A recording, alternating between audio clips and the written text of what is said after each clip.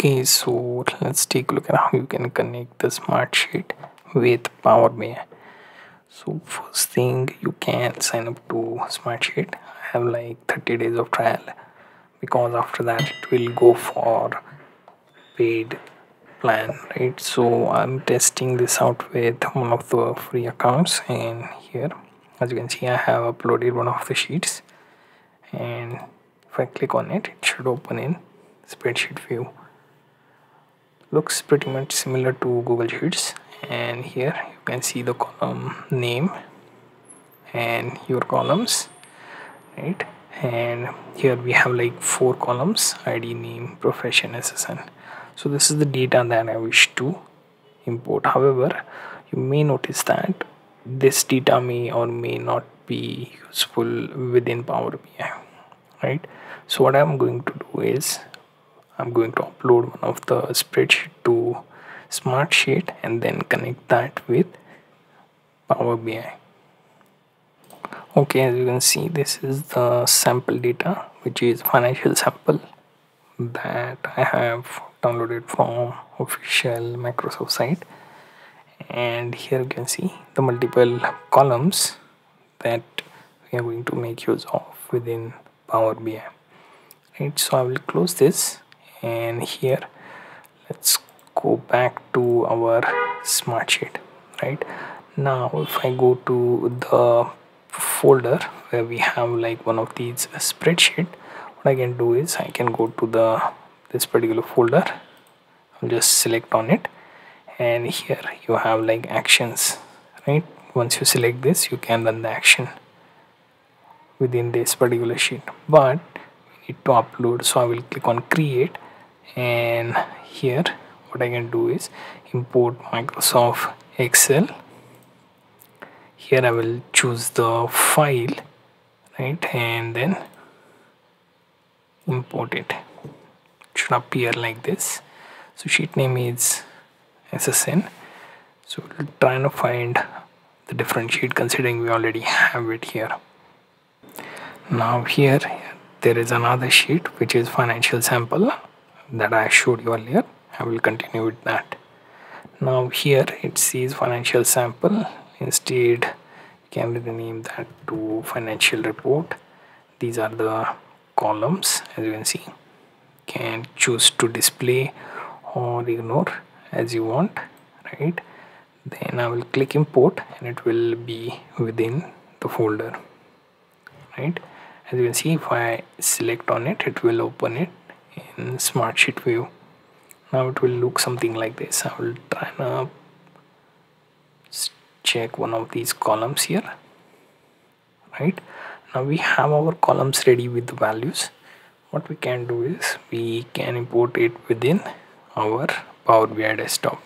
Okay so for those who have like Power BI cloud version you can log into that within your browser and you can also upload it there. The spreadsheet that we connected which is through smartsheet you can use that. Now here you can see you choose to use this particular sample. We need to connect it with our power bi so for that i will open the power bi desktop then click get data. Right? Then click more and it will open dialog box.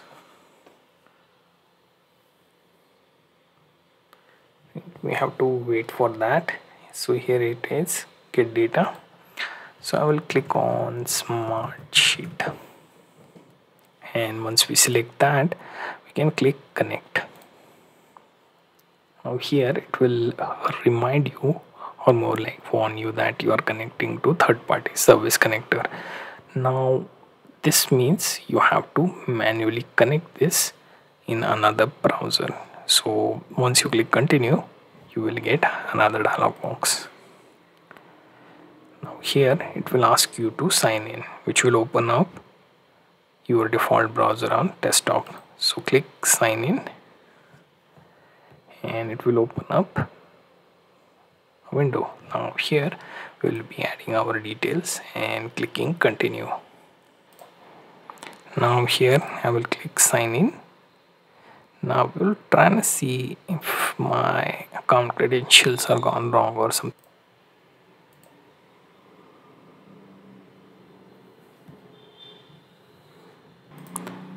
Yes so my email seems to have gone wrong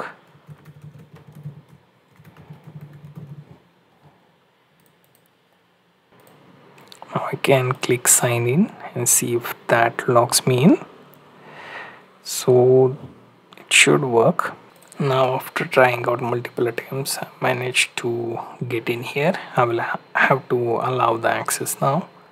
I will click allow and it will connect with the smartsheet now here you can see it will ask you to also use another user if you want.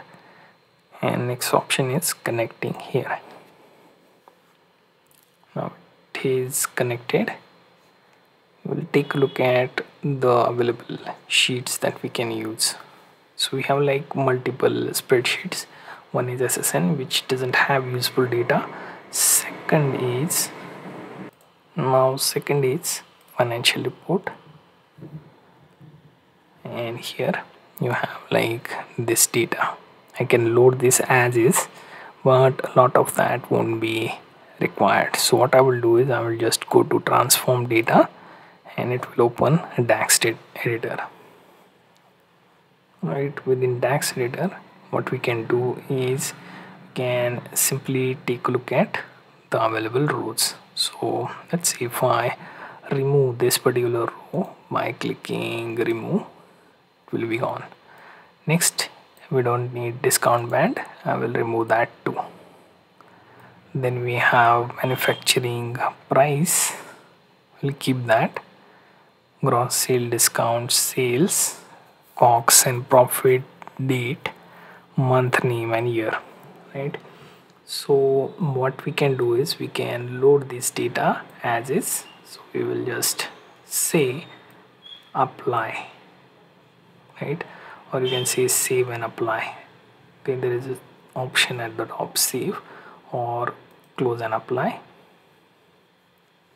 Or just apply. So close and apply so that the deletion we did will be applied and the data will be loaded within the fields to the right. So what we will do is we manage to put up the spreadsheet from smartsheet option here. And next option would be to basically load this. Right so if we consider this particular report with 700 rows loaded into the fields we'll try and draw month versus sale type of graph here right? So we have like fields here and here. As you can see right we have this particular month name and cells. Right these two things. Let's see how it works by default. Right and it will look something like this. Okay now if I try to draw this with line chart and here you will see default month you have and cells so you will notice there is a huge decline over a month. Right? If you try and add additional things you can also add profit but i'm sure it will show you the profit within here. So profit is at the bottom. And then you can also take a look at the gross sales. Right? So like this we managed to get the data on our Power BI and that was from our smartsheet right?